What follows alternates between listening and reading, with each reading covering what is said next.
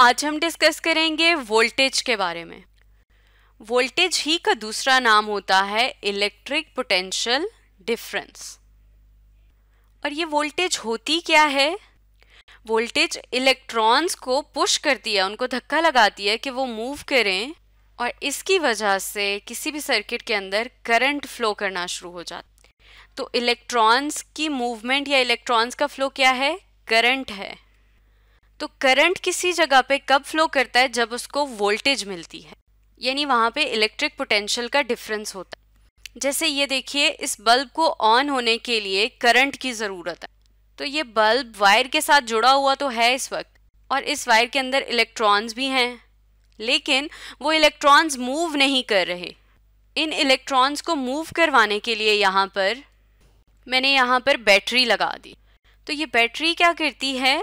ये बैटरी इस बल्ब को वोल्टेज प्रोवाइड करती है, यानी इस सर्किट को वोल्टेज प्रोवाइड करती है, और उसकी वजह से इस वायर के अंदर के जो इलेक्ट्रॉन्स जो पहले मूव नहीं कर पा रहे थे, रुके हुए थे अपनी जगह पे, वो मूव करना शुरू कर देते हैं यहाँ से और जाकर बल्ब को ऑन कर देते हैं। तो देखिए, जब यहाँ पर वोल्टेज नहीं थी, बैटरी नहीं थी तो ये बल्ब ऑफ़ था। लेकिन जैसे ही आपने वोल्टेज प्रोवाइड की बैटरी की हेल्प से तो वोल्टेज ने क्या किया? वोल्टेज ने इन इलेक्ट्रॉन्स को पुश किया और यहाँ पे करंट फ्लो करवा के बल्ब को ऑन करवा दिया। तो हम देखते हैं, चलिए कि ये वोल्टेज किस तरह से इस बल्ब को ऑन कर रही है। देखिए, जब यहाँ पर बैटरी नहीं थी तो ये इलेक्ट्रॉन्स अपनी जगह पे थे, लेकिन इस वायर के अंदर थे, ठीक है, लेकिन मैं यहाँ पे इनको बना रही लेकिन जब ये बैटरी यहाँ पर आई तो इस नेगेटिव चार्ज ने इन इलेक्ट्रॉन्स को ऊपर ताकत लगाई और इनको दूर धकेला। जिसकी वजह से इन इलेक्ट्रॉन्स के पास अब ये एबिलिटी है कि ये यहाँ से मूव करके आगे की तरफ़ जा सकते हैं। यहाँ से मूव करना शुरू करते हैं जाते जाते इस तरफ़ बल्ब के बल्ब के पास चले जाते तो ये जो इलेक्ट्रॉन के पास इस वक्त एबिलिटी आई है, इस इलेक्ट्रॉन के पास, इस पोजीशन पे जो एबिलिटी बैटरी की वजह से आई है, इसको हम कहते हैं electric potential electric for electron और पोटेंशियल का मतलब होता है काम करने की एबिलिटी तो इस इलेक्ट्रॉन के काम करने या मूव करने की एबिलिटी को नाम देते हैं हम इलेक्ट्रिक पोटेंशियल का. और जब इलेक्ट्रॉन इस पोजीशन पर है तो अब इसका पोटेंशियल क्या है? बहुत हाई है. यानी कि ये काम कर सकता है ना? तो इसके पास पोटेंशियल हाई हो गया.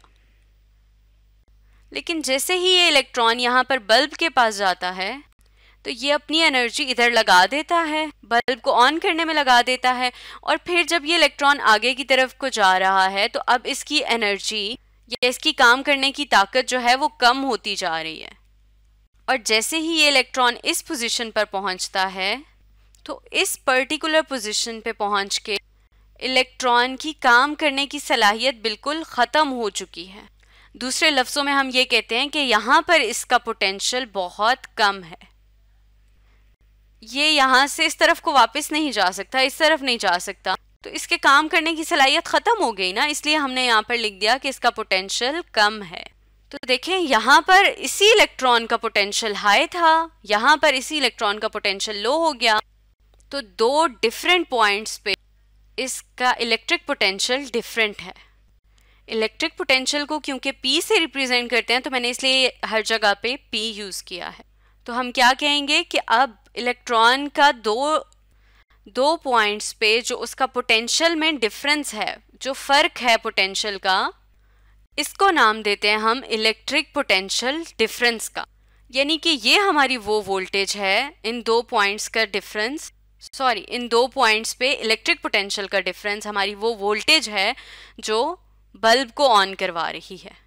तो अभी तक हमें ये तो पता चल गया कि वोल्टेज क्या होती है और ये वोल्टेज किस तरह से बल्ब को ऑन करती है? लेकिन अगर हमें ये मालूम करना हो कि वोल्टेज किसी जगह पर कितनी है तो हम कैसे मालूम करेंगे?